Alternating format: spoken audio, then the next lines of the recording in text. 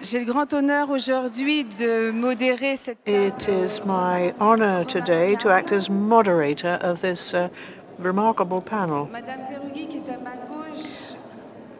Madame Zerrougui on my Je vais la left, I'll introduce her very quickly appelée à d'autres obligations. uh, because she has uh, something else to do and she can't stay to the end uh, of the conference. Madame est magistrate algérienne. Mrs. Zerrougui is uh, a magistrate in Algeria. She has also uh, taught the Faculty of Law in uh, the university in Algeria. She's published a number of articles on the administration of justice and human rights. She's had a long career in uh, the justice sector in Algeria and was called to the uh, Supreme Court in 2000. Uh, she was previously a judge in the Child's, Children's Court, and before she was a legal advisor in the Minister of Justice, and uh, subsequently legal advisor to the President of the Republic. She has also held high posts in the Algerian government and was a member of the National Commission on Judicial Reform. Experte en droit de She's an expert in human rights and in the administration of justice. toute sa carrière au Throughout her career, she has worked to strengthen the state of law and the defense of la protection des strategies and action for the protection of vulnerable femmes et les groups, in particular women and children. She was a travail sur la member of the working group on Conseil des droits de l'homme arbitrary detention uh, in the UN and president and rapporteur of that working group. De 2008 à 2012, From 2008 to exercé les fonctions 2012, uh, she was special assistant representative to the Secretary General au chef de la mission and uh, assistant to the head of the UN mission for stabilization in the uh, Democratic Republic of the Congo, the aim being in particular to strengthen the state of law and the protection of civilians.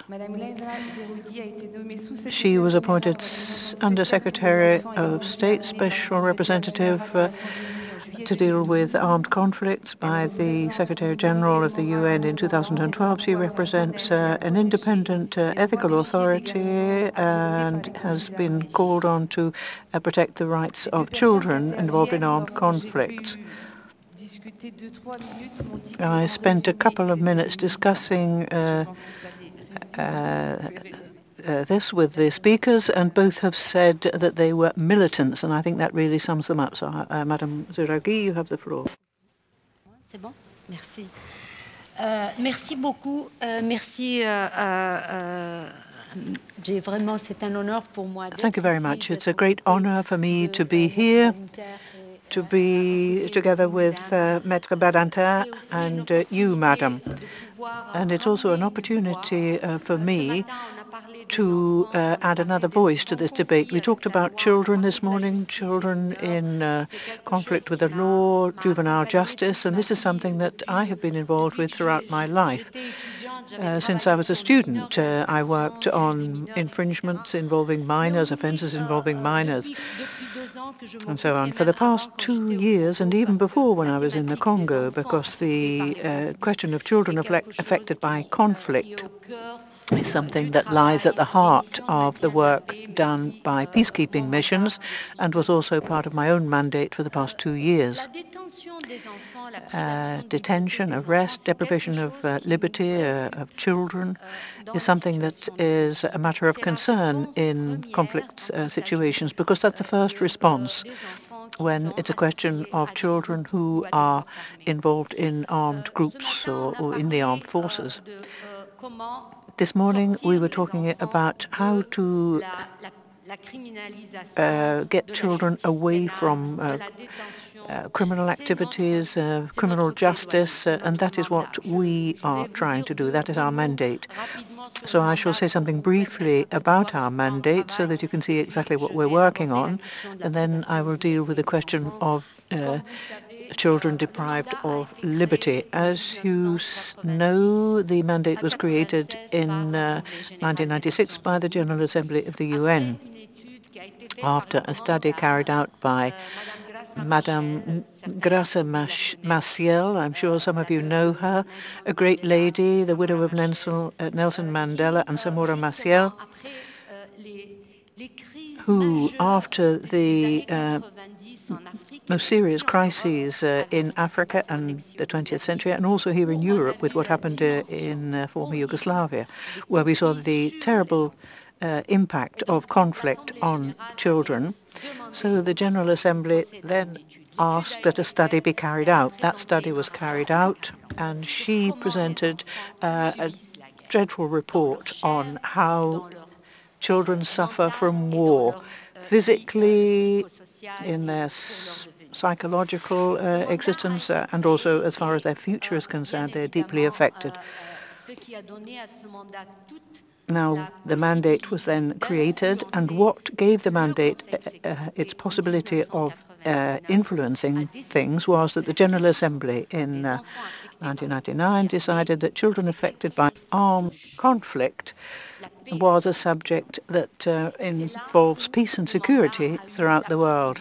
And that is where the mandate was uh, given a possibility of uh, using the means of the Security Council, which can uh, use force, which can refer things to the International Criminal Court, and which can impose uh, measures on states and also can make resources available to states. So the Security Council provided us with the with considerable resources, considerable means, in particular the possibility of reporting on the six most serious uh, violations uh, identified in the report that affect children in conflict. Uh, recruitment and use of children, sexual violence, mutilation and execution, uh, attacks on schools and hospitals, uh, abduction of children, and uh, denial of access to humanitarian aid to children.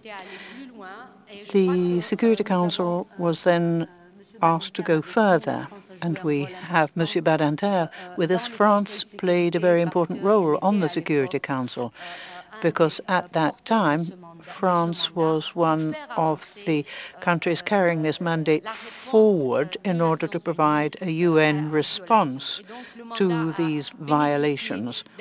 So the mandate benefited from a subsidiary body in the Security Council, the Working Group on Children in Armed Conflict. It also benefited from the team of countries that uh, constituted uh, the team monitoring and reporting on violations uh, this was set up in countries where violations occurred. In particular, the uh, Security Council asked this group to identify those involved in the violations and to name them, whether they were government forces or armed groups. And these names had to be annexed to the report to the Secretary General.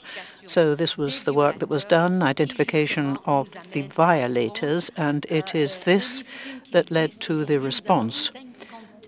We have 59 uh, parties now listed, 59 violators, including eight government forces involved in different types of violation, in particular the four which lead to listing. Uh, recruitment and uh, utilization of children, mutilation and execution, attacks on schools and hospitals, and uh, sexual violence. So what I'm saying is that this is the type of violation that is being committed. But what's the response? What's happening in the field, in the uh, different conflicts across the world that we are following now in Africa, in the Middle East, in Asia, and in Latin America, 26 different conflicts. In all these uh, areas of violation, the first response of uh, a state is what we're talking about today, deprivation of liberty. Uh, children are arrested, and what is even worse, today we're talking about how justice can respond uh, by not affecting uh, children. Well, often children end in detention, but without judgment. Administrative detention, rarely involving the intervention of a judge. And when a judge does intervene, social pressure means that children remain in detention, are not judged, or it takes a very long time for them to be judged. So this is the contrary of what we've been talking about this morning. And these children are highly vulnerable.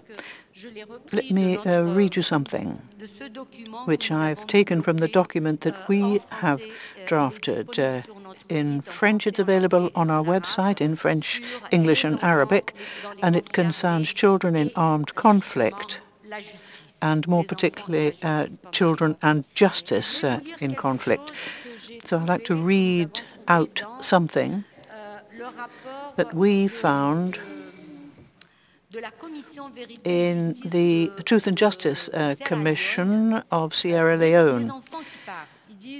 It says, how can we tell people what has happened to us? There are no words that allow us to describe uh, what we have seen, what we have seen, what we have heard, and what we have done, and the fact the effect of these actions on uh, us, on our lives, they cannot be measured. We have been killed, uh, raped, uh, amputated, uh, tortured, reduced to slavery, and we have been obliged to commit dreadful crimes.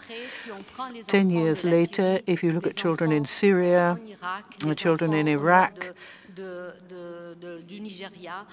in the north of Nigeria and uh, children involved with other groups in Africa, Central Africa, uh, Sudan or elsewhere, they will say the same thing. Children are forced to commit crimes and sometimes uh, they're the most appalling crimes. How can we respond to what has happened to them? How can we work to ensure that um, uh, people feel responsible for children and that children are rendered responsible? They have to understand that what they've done is serious, but at the same time, they should not be uh, punished excessively. Those who deserve to be punished uh, and of course, we're pleased to have uh, confirmation of uh, a judge in The Hague, uh, Thomas Lubanga. Uh, they are. It is the people who commit, who force children to commit crimes, who should be punished. Uh, and often we have uh, amnesties ending conflict, and uh, the children are left uh, to their own devices, and those involved in the conflict are rewarded. So, first of all, since the Security Council refers, says that the parties on the list can only be removed from the list if they sign an action plan with the UN in order to put an end to these violations and to prevent violations. So using that instrument and in that context, and this is uh, how we launched the campaign, We Are Children, We Are Not Soldiers, to uh, put an end to recruitment of children uh, to government armed forces, to have that done by 2016. This objective enables us to identify the responses, the solutions that we can propose to states to put an end to recruitment, but also to reintegrate children who have been uh, faced with violence. And I think that today even Europe is faced with what is happening in Iraq, Syria, and elsewhere. So without uh, stigmatizing and traumatizing children, how can we put forward alternative solutions? This morning we've talked about uh, a number of alternative solutions. Uh, these alternatives do exist. What we need is the political will on the part of the states concerned what we need is uh, know-how and resources, uh, and these things are not always available. And uh, this is not always what is given priority when it's a question of uh, pleading the cause of children, in, in particular children affected by conflicts we think that this is uh, way off in the future, too expensive. Uh, this is an investment, however, that is never too expensive because it prevents other wars. It guarantees uh, security and stability and the response on the part of justice, and not only punitive justice, but justice uh, for minors, and I have a, a judge involved with minors beside me, is the kind of justice that has to respond to the need to reintegrate uh, children. And we are trying, as you'll see in this document, uh, we have highlighted everything that has been done and that can be done on uh, truth and justice uh, commissions or within the case, within the framework of turning the page with regard to a conflict, we have children who leave armed groups, who are arrested, but who are then uh, recovered. And what we are trying to do is to get the states concerned to understand that detention is not the answer, that this stigmatizes the children, and this means that once they are adults, they will then be led to commit other crimes, to perhaps start another rebellion. Uh, they will not be not fit into society. And if we invest by reintegrating children, working with communities, because often it's extremely difficult to uh, take those children back to their families and their communities. You know what armed groups do? They oblige them to commit appalling crimes in their own communities, to, to be sure that they won't go home, that they will stay with them. They uh, commit crimes uh, in their own communities. So it's important uh, that we have a multidimensional uh, response so that we can uh, reintegrate the child. And to do that, we work with mediators in peace negotiations uh, to ensure that children are not forgotten. Only too often they're not, they are forgotten, and they're not uh, included in responses to conflict because they're not at the negotiating table. We've uh, done this in Central Africa. If you look at the peace uh, agreement, we have included the uh, children's aspect in the Brazzaville peace agreement, and we're working uh, to do the same thing in Mali. We're trying to do the same thing in Colombia. So whenever we have an opportunity, when governments are prepared to listen, when the parties concerned are prepared to listen, we try to bring in the subject of children because we are convinced we have lived through this, uh, and I was in the Congo. This is a very important point uh, that allows one to rebuild confidence because the parties are open to doing something for children. This is also a way of testing people's goodwill, and it's a way of starting a process uh, to build peace in the long term and to build peace by constructing justice, building justice. You can't build peace on the basis of impunity and ignoring the suffering of uh, victims, and children have to be included among the victims. So this is what we're trying to do. Uh, detention is something that children undergo, and uh, if they are uh, raped, violated, abused uh, during detention, and sometimes recruited while in detention, and uh, used as human shields, used as spies uh, in the other camp. Their lives are, are, put in danger, they are further traumatized, uh, and there is therefore a risk, a very serious risk of them being killed. So detention is not the solution, as we heard this morning. And I cannot repeat this uh, too strongly. We're working to put an end to recruitment of children into armed government forces. It's not by chance that we chose that.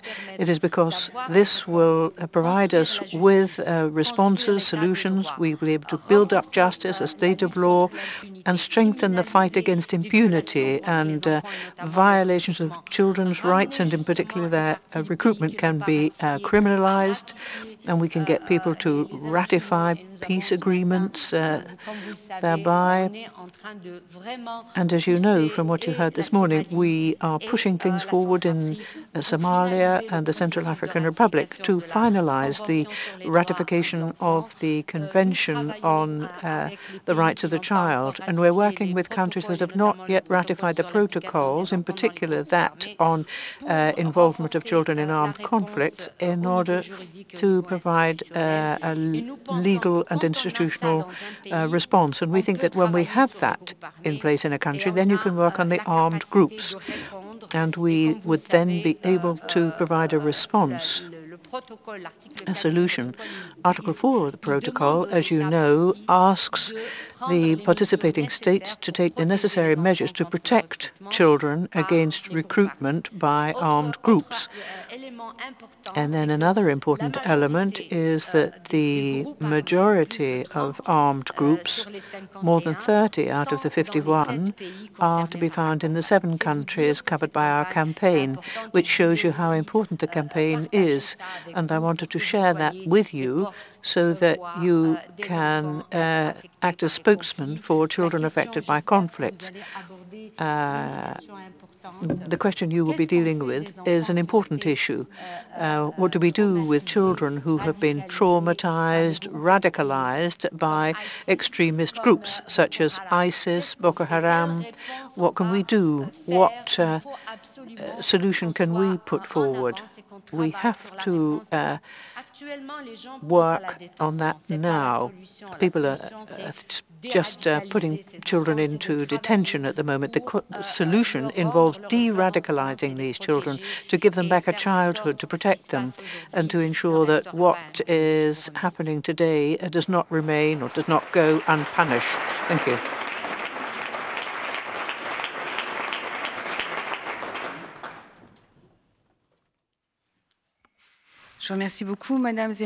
Thank you very much, uh, Mrs. Zerrougui. We might change things a little bit. If you have any questions for Madame Zerrougui, you could please ask them right away because she's going to have to leave us.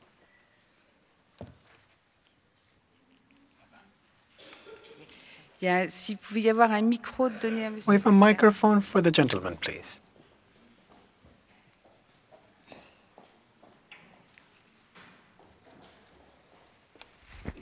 Oui, bonjour. Benoît Van Keirsbilck, Défense des enfants. Good morning. I'm from uh, Children's Defense International. Madame Zerrougui, thank you for giving us uh, an idea of these child combatants in Syria and elsewhere within the context of international law, particularly when it comes to the protection of uh, children. We should, they should be considered child soldiers because we do have legal cases about this and we know how we are supposed to react in these situations. Uh, indeed, in Western countries, and particularly in Belgium, the idea of we do consider these children to be child soldiers, so there's an obligation on the part of states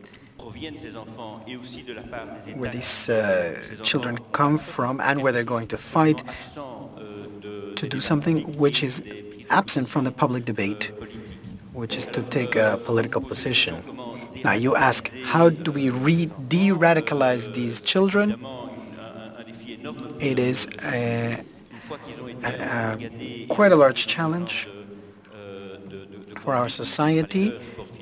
These are people who who are participating in, in other people's conflicts, and it's very, very difficult to react. I'd also like to note that we don't really look at the reasons why these people who live in Europe, who are, often, who are often born in and raised in Europe, uh, we don't really look at the reasons why. at a certain moment they do not feel at ease in, in our societies and decide to go off and fight for foreign causes. So I think there is a lot of work to be done in this area. And I'd also like to say that, that when we have uh, states that do not penalize these people when we don't, by penalizing when they return, people are afraid to return. So we need to raise awareness and outreach uh, once they are back. So I think we need a, a completely different political approach for these specific individuals. Thank you. Oui, euh, je suis absolument d'accord et je pense que l'étude... Yes, I completely agree. I think that the study that was announced this morning, which was uh, which was requested by the General Assembly on children deprived of their liberty, will allow us to also think about how we deal with this broad problem. My office will be part of this study. As far as the political approach that you mentioned, I think that anything having, having to do with uh, crime requires a political approach. And when this crime uh, is part of an ideology, it is even more necessary to have a political approach. I think that as far as these children who, who are fighting, this is not a new phenomenon in the history of humanity, whenever there is a new ideology, young people enlisted something new, uh, something that can change their lives. So we need to see to what extent these children have uh, chosen to go and join these, these wars. it's not, it's not so simple. For a long time, we saw that this, what was going on in Syria was a fight against the dictatorship with a positive aspect. Uh, uh, freedom fighters uh, of the opposition against the dictators. So we need to go further. We need to go beyond the surface to understand what's going on. And then we also should not lose sight of the fact that behind these children there are families, that these families exist, and it is important not, not to stigmatize everybody. We need to find solutions working with the families and with the representatives of their communities. For example, I was in, in uh, Algiers and, and actually in Oran in, in October. There was a, a conference held by uh, uh, Sufist associations. And it's important for people to feel happy with their religion. We shouldn't stigmatize their religion. Just because criminals use religion as others use ethnicity or other ideologies, we should not stigmatize an entire community.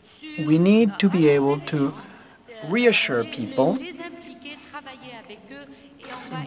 involve them, and this way we can isolate criminals, extremists, we can... Um, I've worked in Congo, and in Congo, children were recruited recruited by everybody. They, they, they committed all sorts of crimes. We were able to take them back. They became community leaders. Now they work for the defense of children. So a child can be uh, saved. Children are not lost. We just need to love them, and we need to have a, the correct response and work with those who have lived through these hardships. Thank you. Thank you for this hopeful ending. Monsieur Badinter,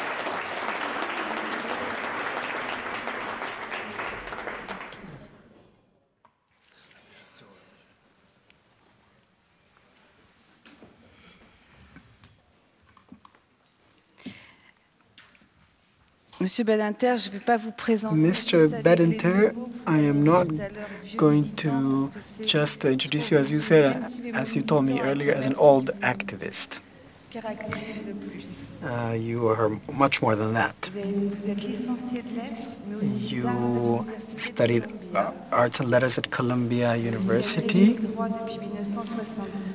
and you've also had a law degree since 1965. You've uh, taught in several universities, including uh, the Sorbonne in Paris, and you are today a professor emeritus there. Mr. Badinter was a lawyer until 1981. In 1981, he was named Minister of Justice under the first term of François Mitterrand. He was Minister of Justice until 1986 and began many reforms. He did away with exceptional jurisdiction, he decriminalized homosexuality, and improved the rights of victims. But also, and above all, since the 1970s, Mr. Badinter was and is an activist to abolish the death penalty. Through your work, The Execution, which is the first of your many books, it was a groundbreaking work. You described the struggle you had to held until the 1981 law which abolished the death penalty in France. You are the father of this law. You've also fought to improve uh, prison uh, situations and individual liberties. Mr. Badinter was also head of the committee that uh, rewrote the French Penal Code and he was part of the Constitutional Council. His contributions transcend national borders, and in 1991, the Council of Ministers of the European Community uh, sent him on a, as head of the peacekeeping mission in the former Yugoslavia. He's the, the main promoter of the Stockholm Convention, which creates a uh, the OSCE's arbitration panel in Geneva, and he was president since 1995. He has often been asked about constitutional issues, in new democracies in Central and Eastern Europe. Furthermore, he's also worked for the Convention of Brussels to create a European constitution. And in 2003, former U.S. Secretary General Kofi Annan named him to be part of a 16-person panel aimed to which, which worked to propose a, a reform of the United Nations. He's very personally and politically engaged to this day. Mr. Badinter, please. C'est toujours saisissant d'entendre comme ça it's always quite amazing when, when uh, uh, my life is retold like that. It almost sounds like my eulogy. But uh, yes, uh, mm, I, I, could I could add a few a few more uh, details today. And this is very important. I heard Mrs. Zerrougui, who who have known for a long time uh, about the importance on the international stage of such a difficult topic, which is preventing juvenile uh, criminality and helping children in difficulty. I would like to get straight to the point. What I have seen over the past uh, very, very long career is that there's a sort of a contrast. I wouldn't say a division, but there is a sort of a dissonance between the, the enlightened opinion of those who work on this topic, in, in, uh, including legislatures and international organizations, and those who work on the ground, be, both in law and in, and in crime prevention. There is a consensus, though. There's a consensus uh, whose principles are uh, include the, the Convention on the Rights of the Child, but beyond that, you also find it on the uh, Pact of Civil Rights and the different protocols that have come after that.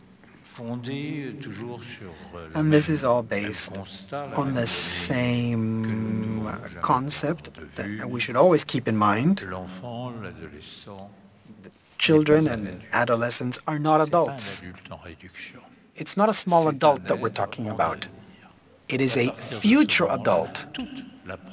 And it is from there that the entire legal point of view and the, the way we treat minors in difficulty must be carried out. Keeping this in mind. It's not like in, in Velázquez's paintings when we see little children dressed exactly as adults did. We can see the king and queen of Spain, and uh, the princes are dressed in the same way, just in a smaller size. They are not mini adults. Children are not mini adults. Now, I mentioned a, a dissonance at the professional level of, the, of those who who dedicate sometimes their entire lives or most of their lives in this uh, struggle against uh, all those who uh, exploit, exploit uh, children and place them in danger. And then there's a public opinion, which is often, which are often, they're often um, populist politicians who exploit these situations just to gain some political advantage. So, first of all, things are clear. Children are not miniature adults. Therefore, we should uh, focus on prevention rather than repression. Therefore, we should always prefer education to repression, and we should always um, ensure the judicial act, legal treatment of, of, of, children in danger. We need to have special, specialized judges, specialized legal systems which are competent. We need to have adapted legal um, concepts, particularly during the pretrial and trial phase. We need to always ensure the proper treatment of children, and we should always favor education and, and as a last resort, result, prison terms. Now, these are the pillars, the, the, the basis of the legal treatment of minors in difficulties, in danger. Now, when we go from stating principles between those who share these convictions and, and concerns, when we move on to the public, uh, now I've dedicated most of my life to public action, to political action rather. When we hear the voice of our citizens calling for the justice of children, it's always anger, uh, let them go. But clearly, when you are sitting in parliament, there are always uh, those who will contradict you to tell you that they don't understand, that you don't understand anything about the the, the reality of, of these uh, these youth, and that what you should do is go back to an old-fashioned trial. I mean, we're not going to send them to overseas penal colonies like we used to, but people always wind up saying, put them away, lock them up.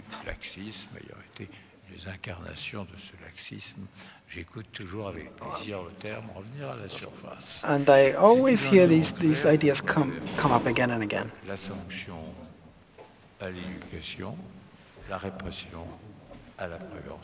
People say they prefer repression to education, and repressive measures uh, are, are used such as imprisonment, strong penal sentences.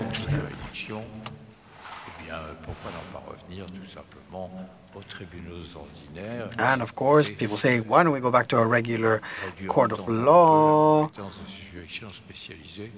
Why do we need a specialized uh, court for children? They're, they're, they're weaker, they're, they stay. And the, the reality is so far removed from all of this that we must stop and ask ourselves how to continue, how to carry forward. Now, it's not within the law that we that we find that uh, the, something is lacking. We have uh, international law, we have the European Court of Human Rights, we have the UN Committee.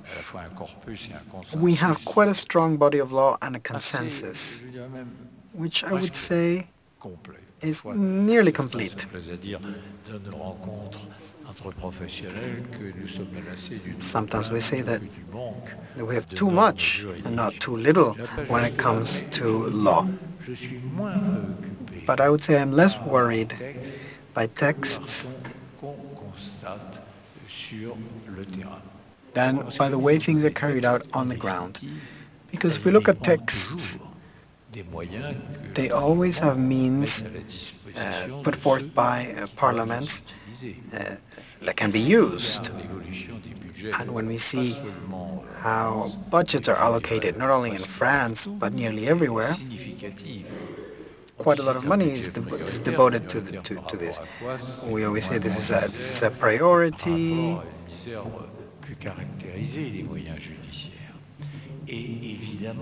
And clearly, the methods we choose and refusing to put children away, this is all very expensive. Now, here we are all experienced uh, individuals. When you're in a meeting that's open to the public, and I don't mean political meetings, I mean any, any public meeting, and people are asking you how much it costs to have a child in a closed education center, very, and you said, and you say, well, I see that it costs 736 euros per day per adolescent. You will say, well then, well then let, let's see, 736 euros per day.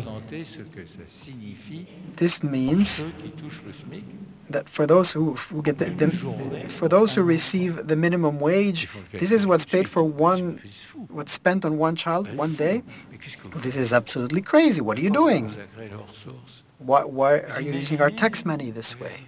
Can you imagine having 20,000 euros a month that's being spent for one child? We have all the answers to justify this spending. But particularly when we're going through uh, difficult uh, financial um, times, there's also the, there'll be social pressure to use this money on hospitals, on retirement homes, that this should be given to people who are unemployed.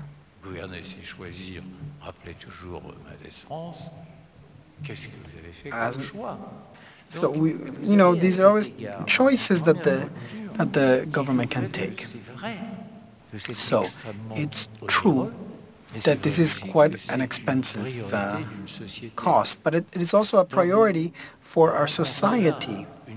So there you see both a moral and a social demand. We need, to, we must prefer an education center to a jail and the cruel reality is that we've got our back against the wall, being pressured by society.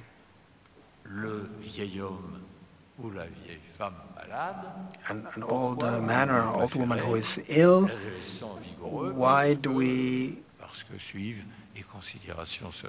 are prefer to spend money on these healthy young adults? Well, because there's all of these social reasons that we know. So it is clear that we've reached a very tense point between very pressing social needs, which are very respectable, and that which is and should remain, we believe, a priority, which is childhood and adolescence, because we need to preserve the, the, their future. We are an aging society, and we're not always so easily accepted. Then there's a second question. This text, well, we're all experts in, in, in this, in this uh, area. I know that the, ne the next question will be, how do we follow up on the effectiveness of this text? Is it simply a proclamation, which often happens in international organizations? They basically produce declarations which can remain uh, just uh, theoretical on paper. But the main question is, how do we ensure that these conventions, international conventions, are actually applied and respected by the signatory countries. And I cannot stress enough the importance and the priority that is given, including when it comes to budgets, to monitoring agencies that, that follow up on, of the, on all of these conventions. Because we can sign and ratify an international convention, But that has never been enough to apply on the ground these uh, conventions, which might make laws constitutionally binding. Now, throughout my career, we have the, the Council of Europe's uh, Torture Prevention Committee, for example, which played an extremely efficient role simply by ensuring the state of uh, establishments for young people at the national level. And th this term might be uh, weak in some cases, but the extreme lack that we, see, that we saw when it comes to the treatment of young people in these establishments or in their neighborhoods. And we also made uh, reports for national authorities. so that they would become aware of their situation and look at one another. Therefore, we need to ensure that all international conventions are followed up by a monitoring body that can investigate and give uh, recommendations and opinions without which the most beautiful conventions are just ink on paper. Now, we need to keep in mind and do and carry out international scale missions, not only a general ombudsman that takes care of, um, of following up on all these rights, but we need missions, and the UNICEF can carry this work out.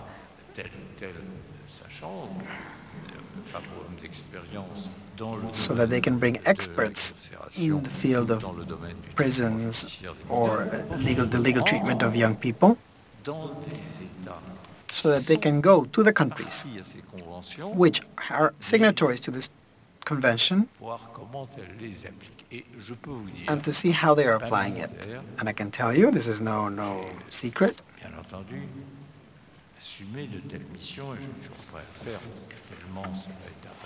I could be part of such missions because they're very important. Uh, because I've been on some of them, and I can tell you that, that I've walked out of some countries absolutely shocked. I've been to some Eastern European countries, members of the Council of Europe, who have, who have ratified all the conventions. But I have um, memories of uh, Ukrainian prisons, and as well as in uh, Moldova. I wouldn't say they were. I was shocked by the cruelty. But these have been societies under Stalin, under totalitarian regimes, and this still can be seen in these establishments because they don't have enough means to, to change things. And the vision of what has to be done with, with young children, uh, this hasn't really been applied. The culture hasn't changed after all these decades. These texts are not uh, taking into account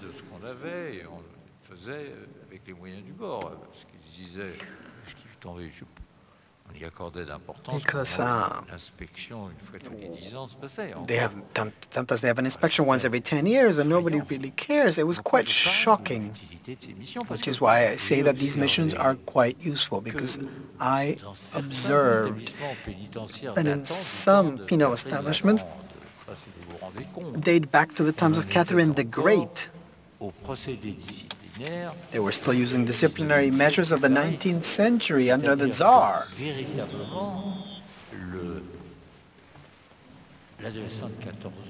So a 14-year-old adolescent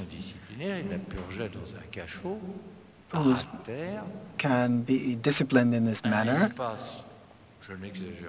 in an area, I won't exaggerate, maybe one, one meter 80 squared, no toilet, just a hole.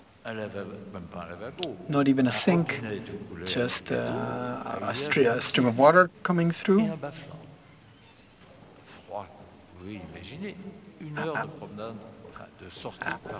and uh, he, just a blanket in the cold, and, and they can walk outside one hour a day. This is what they do to 15-year-olds who I saw, who I observed.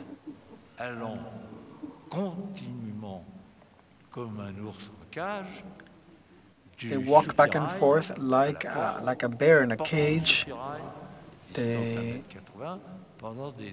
they stand at this door in this 180 by 180 room for hours and hours.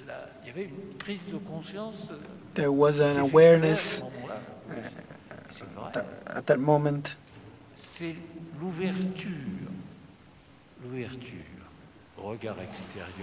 That, that authorities need to look beyond their borders as well, uh, because they have press conferences at, at the national level in which we will say what we saw. And then the people from the Ministry of Justice who might have never been to these detention centers as often as they should tell you that all of this has been done away with and they will ensure that. And then finally we see some changes which only are carried out because of these missions. As I said earlier, this happens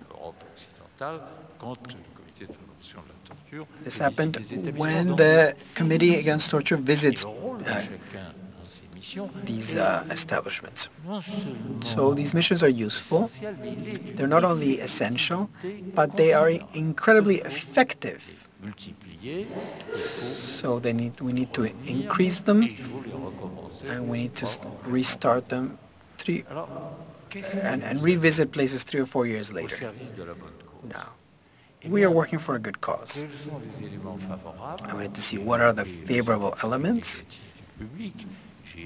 I mentioned the negative attitudes from the public, these international organizations.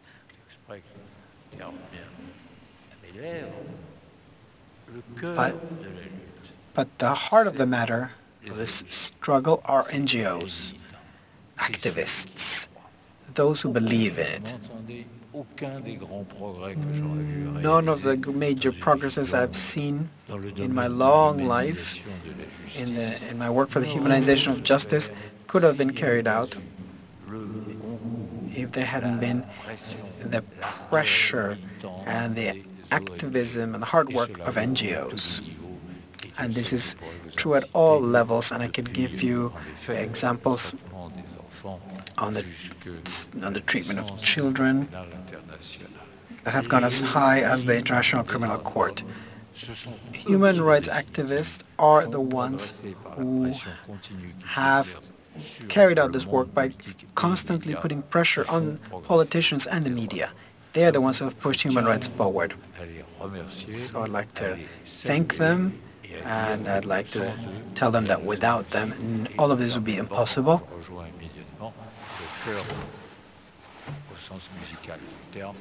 And I would like to join and be part of your chorus. So this is the current situation. Now, what are, where are we headed? Well, we have different tools at our disposal which are being uh, aided by the new uh, information technologies which allow us to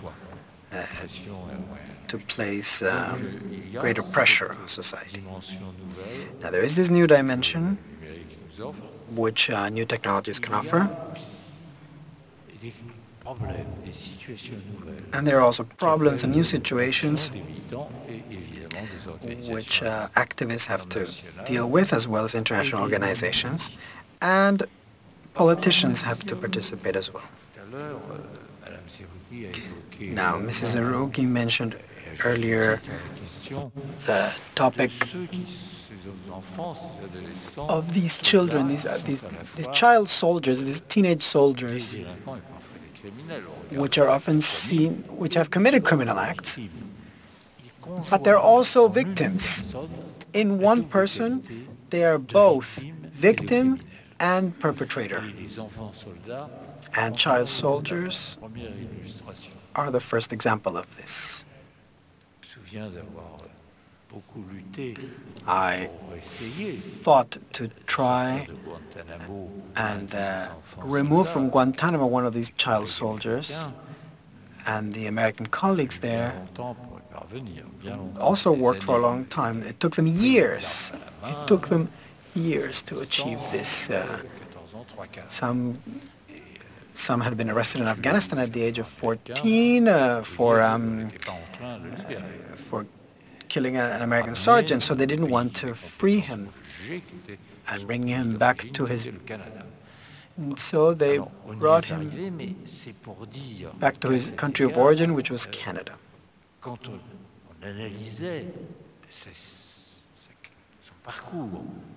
Now, we looked at his life story, his, his quality of life.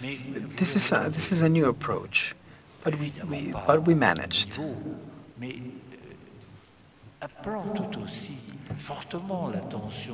Now, part of the tension also stemmed from the fact that there were children who were exploited by gangs, were in, which is very common in, in, in uh, contemporary crime.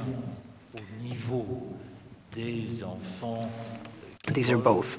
Uh, these are children who steal in Western um, in Western capitals, and there are those those who do it for themselves and those who do it for others. Sometimes they are the tools of others because they've been they've been made to be this way. The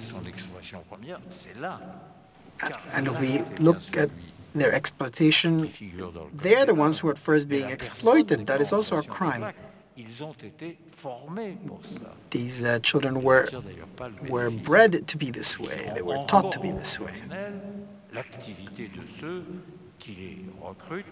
And, and the people who recruit them and, and, exploit them are also criminals. These are one of the most threatening areas of modern crime, including in Europe. Now, today, we have one of the one of the we have something which is quite scary. Children's legislation itself is being exploited when it comes to drug trafficking. And this is particularly true in South and, and Central America with a terrible, absolutely terrible result, which is that these children are arrested within anti-drug legislation, which is very severe. And since these states rarely have uh, appropriate establishments and staff, they are sent to regular prisons with adults. And in these adult prisons, they are exposed to, to absolute hell on earth because the drug barons are st still uh, run things within the prisons. Now, I don't want to get into the details right now, but I'll tell you that this, the, we, we, when we reach this situation, we have a prison where its walls are guarded by public authorities, but inside it is the criminal gangs who run the, the prison. And in this and in this quote justice system, children who are sent to prison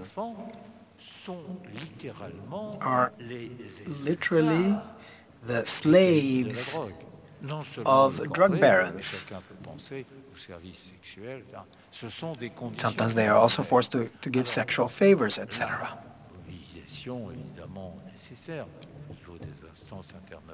So we need to work in international organizations as well as national uh, organizations.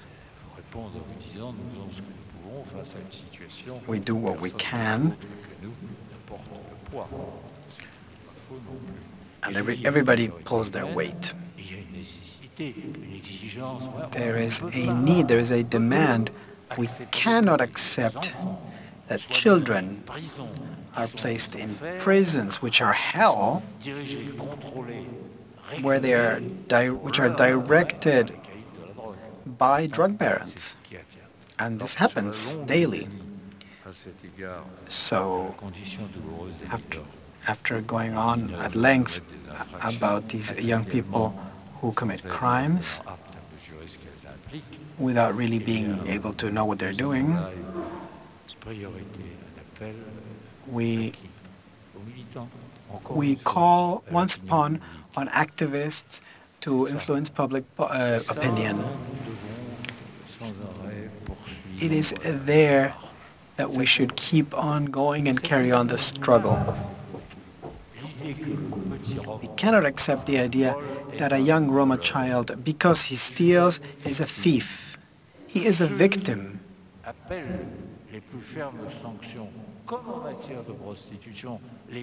When it comes, just like in prostitution, we we have to focus on on uh, the pimps and the, and the human traffickers. In the same way, and even worse, because these are children, we need to be very vigilant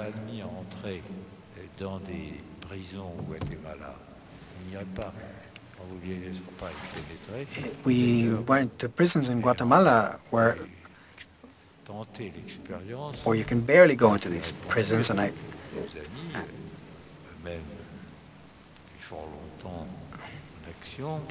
And I can and uh, once you've seen this, it's, it's absolutely it's, it's dreadful. If you go into one of these prisons, you'll simply never come out because they don't want witnesses.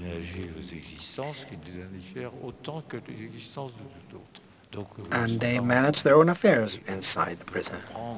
I can understand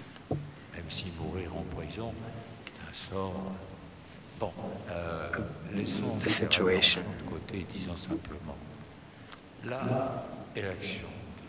So we, we need to call for action. These are the, the ways that each of us can act to change things. Everybody's useful when we speak about this priority, which is saving children. And those you save here, and this is the paradox of this mission, we have to save those who are breaking the law, but we, the law, have to come and save and help them. So I'd like to once again thank all of the activists and those who fight for this. Thank you.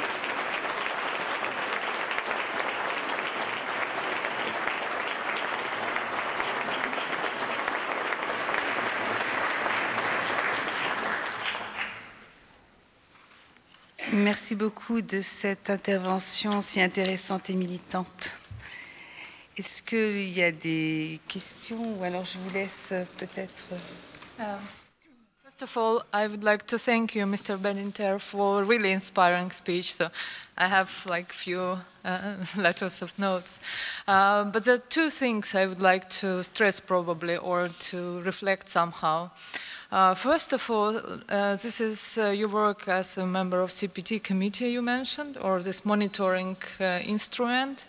And uh, uh, to reflect on this, I know your reports on Eastern European countries, Estonia, which is, so I'm, I'm more familiar with, and I cannot overestimate the importance of this report to improve life in, in prisons.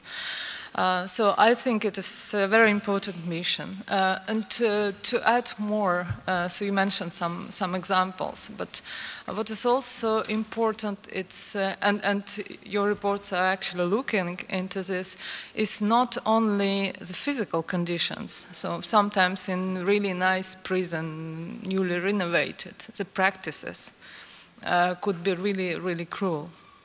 And I think it is, it is uh, also very, very important. And to add more to this uh, monitoring, uh, and maybe to come more to general level, we have discussed today in, in two sessions the uh, importance of special treatment for juveniles, that our approach should be different compared to adults.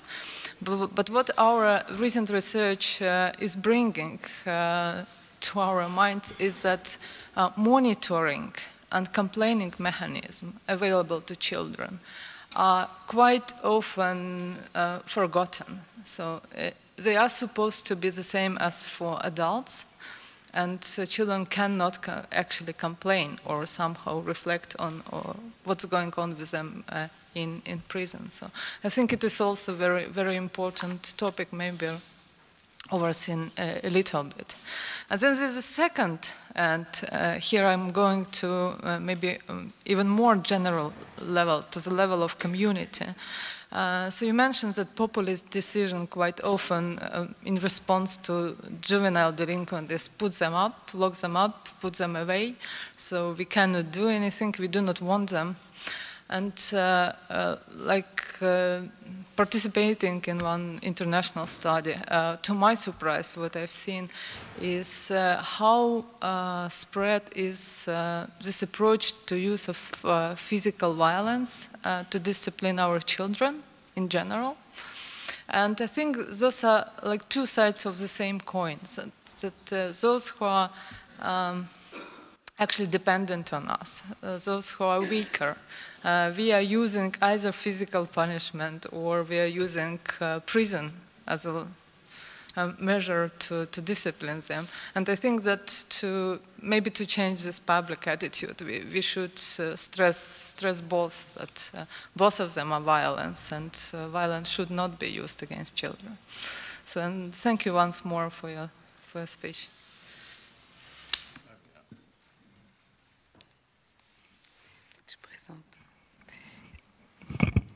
I agree with what you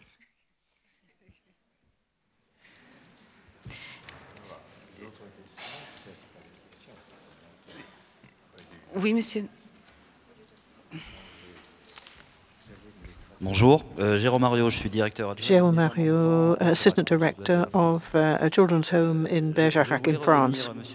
I wanted to go back to uh, what Mr. Badinter said about the price per day in a closed center. I didn't want to ask a question. I wanted to uh, say the following. According 160 euros a day per, per day, that's uh, four times less than in a, a closed center, actually, from my own experience. And I make this comparison because I think it's important to remind people as often as possible that prevention always is much, much cheaper than uh, punishment or repression.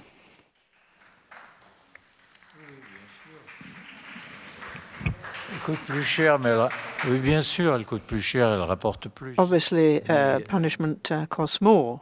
Quand vous énoncez le chiffre, but when you give the figure that uh, we can't really throw light on, on that here. Public opinion has to be taken into account. There are other things that uh, are seen as priorities you are measuring one of the most difficult aspects of government action when you give the figure. You have a budget. For five years, I was Minister of Justice with a budget that uh, increased very, very slowly indeed.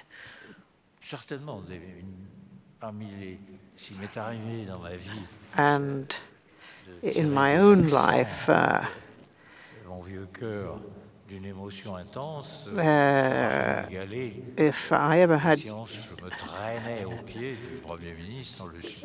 deep feelings, I must say it was uh, when I was uh, really uh, uh, throwing myself at the feet of the Prime Minister as far as these, uh, as far as the budget was concerned.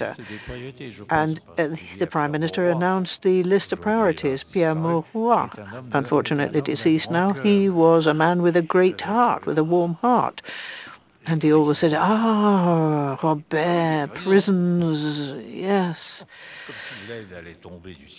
As if uh, aid was going to come down from heaven above. And then he said, uh, and then he gave me a long list of his priorities. There were the uh, educational centres, the need for uh, old people's homes and so on. Uh, and you had a whole litany of uh, social evils. And of course, we had uh, delinquent children in France. I'll give you a little increase, a little increase, uh, double the budget, be, be generous. Oh, you're joking.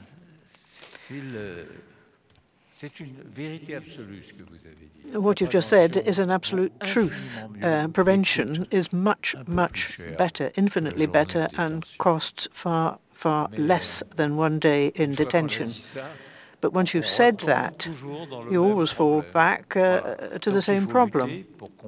We have to fight to persuade people that in the final analysis, prevention uh, costs less than uh, punishment even if punishment might cost a little less, but not much. One very speedy question. It's not really a question, but there are two things I wanted to take up very quickly. Danielle Moisin, Interregional Director, Protection of uh, Youth in the in the West with regard to the rupture, the split between policies vis-à-vis uh, -vis, uh, delinquent minors uh, and, and, and reality. This is something that the Minister of Justice will have to deal with when the law concerning delinquency among minors uh, is dealt with. In other words, the rewriting of the law of 1945.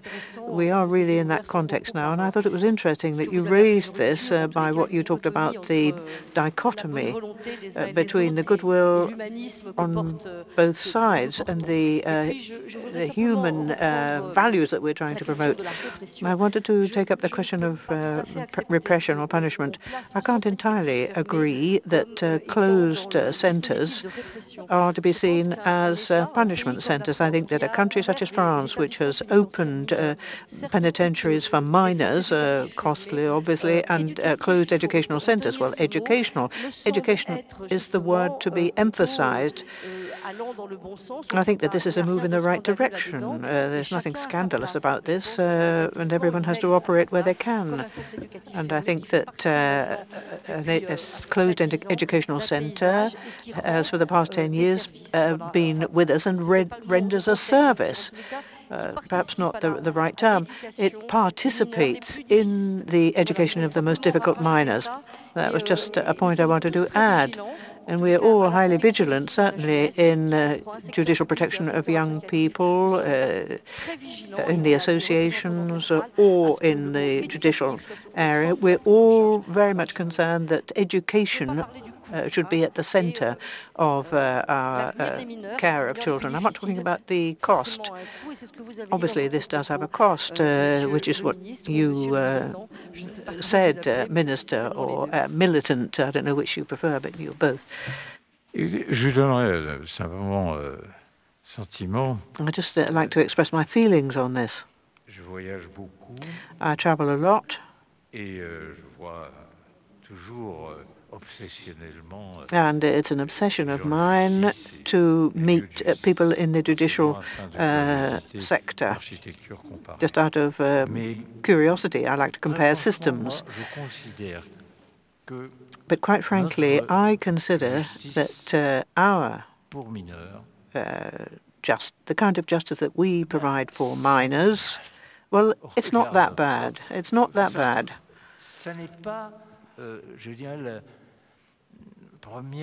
I would say that uh, this is not the first uh, uh, area that I would criticize. Uh, no, I think, uh, and uh, do spread this around if you have an opportunity, I think that in this area we're not, this may be litotes, but I don't think we're doing that badly thanks to, and the public isn't aware of this, thanks to a huge investment, uh, a personal investment on the part of those involved. And I wanted to make that point. because uh, you, you've referred to realities in public, and I don't think that one should constantly attack uh, the judicial system and uh, judges uh, shouldn't be uh, constantly criticized. Uh, out of the 47 states in the Council of Europe, believe me that uh, in many respects, as far as justice for minors is concerned, we are not doing too badly. Far from that. Uh, not, not, not all aspects of our justice system, not the prison system, but as far as um, justice for minors is concerned, I think we come out well ahead.